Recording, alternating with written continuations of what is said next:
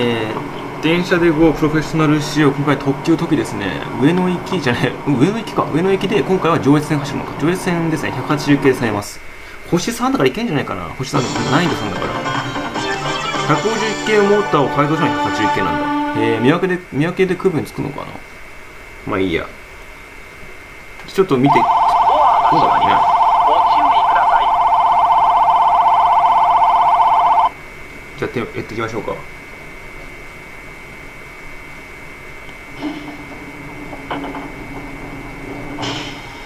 制限解除。何の？制限解除。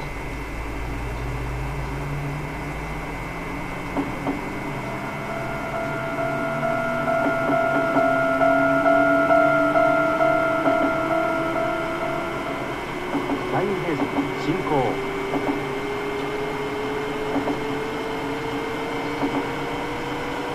なんか古い古い車で見るとなんか全部ディーゼルかなと思ってこれディーゼルじゃないですよね。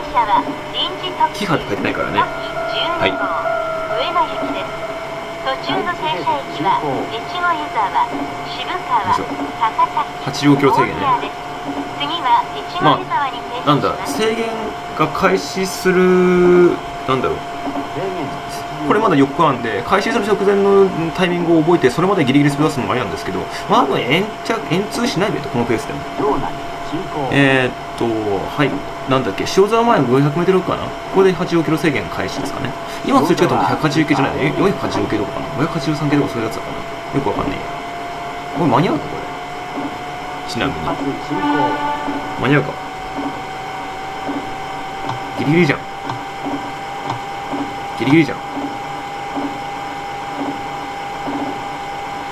第一兵進行。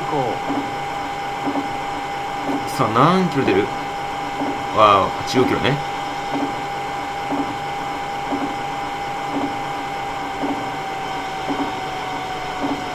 場内進行。制限85スピード出す機会がないですね。間に合うかな上越国際スキー場前通過長いね名前が。よし2秒いった。お結構いい感じじゃない？ダイヤの調整。こんな感じで運転すればいいのね。さあ80キロ制限があります。80キロで惰性走行ですね。ってことはこれさ制限が来て惰性走行して標識がナビゲーション比例がナビゲーションで見えたらまあそれに合わせるって感じでいいのかな？そしたら大体ちょうどいいのかな？ちょうどいいね。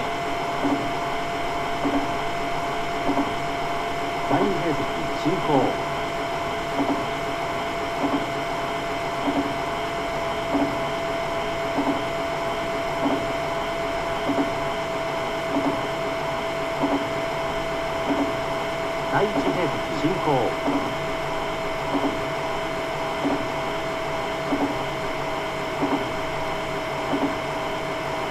さあさあ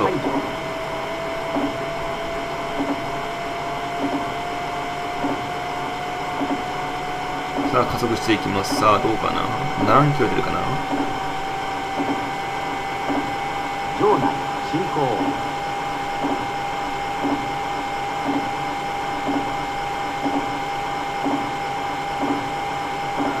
おっとや70キロか。間に合うかこれ。制限70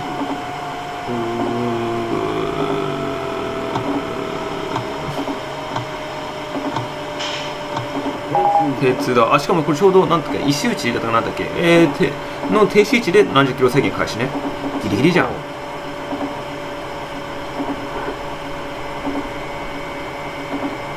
速度オーバーするとそんだけあの予定されたスピードよりも出てるってわけだから操通とか装着のリスクが増えますよね。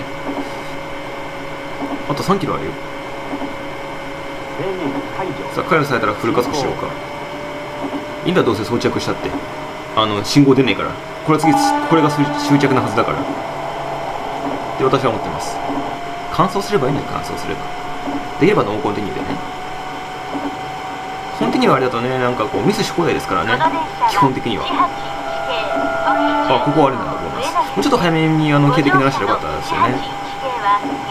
さあ何キロ出るかな。モーター性能をパワーアップした小玉型電車の流れを組む電車トキという名前は佐渡島のみに生息す。る絶滅寸前の鳥トキから取ったものです。1982年の上越新幹線開業時にトキの名前は各駅停車タイプの上越新幹線。119が限界か。ただいまご乗車の在来線わかりましたトキは廃止になりました。さらに1997年に新潟行きの新幹線は朝日におーっと8キロ先来た。実際の鳥さあ間に合うか。うわ間に合わなさそうだなこれ。このスピードは。短い時間ではありますがあこの次のコーナーで多分入っちゃう実況制限。キャーキャー。800m ね。越後湯沢まで 800m であの80キロ制限かな。越後湯沢です。越後湯沢の次は渋沢に停まります。本日は特急トキにご乗車。ありがとうございました制限解除さあ加速していきますか。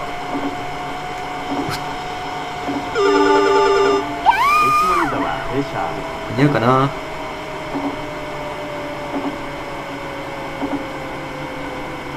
やば。やば。やば。やば。やば。やば。やば。俺知らん。俺知らん。俺知らん。こんなおお止まる